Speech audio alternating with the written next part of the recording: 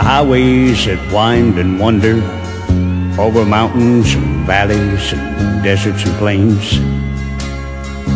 I guess I've drove about all of them. Cause for the past 25 years now, the cab of a truck has been my home.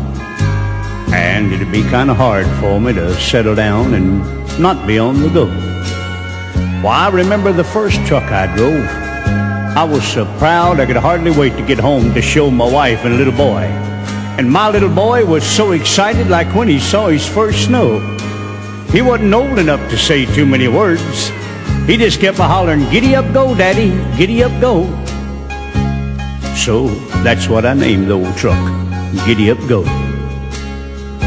Ah, things wasn't too bad. Of course, I was gone an awful lot. And then after about six years of being in and out, I got home one day and found my wife and little boy gone.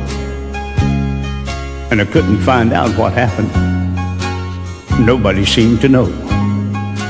So from that day on, it's just been me and old Giddy Up Go.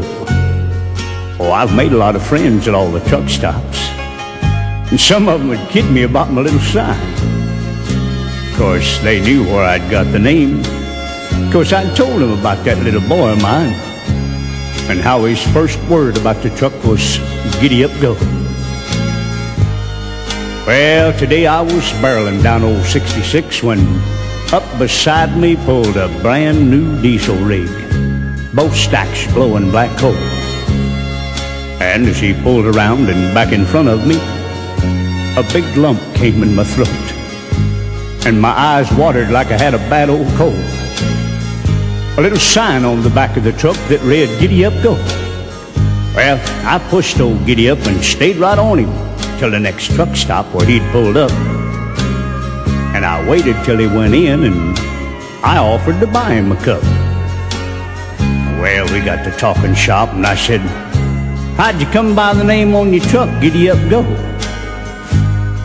Well, he said, I got it from my pop. Dad used to drive a truck. That's what Mom talked about a lot. You see, I lost Mom when I was just past 16 and I lost all track of Pop. Mom said he got the name from me. Well, I shook his hand and told him I had something I wanted him to see. And I took him out to the old truck and brushed off some of the dirt so the name would show. And his eyes got big and bright as he read Giddy Up Go. Oh, we had a lot of things to talk about, and buddy, I felt like a king. And now we've just pulled back on old 66, and he handled that rig better than any gear jammer that I'd ever seen.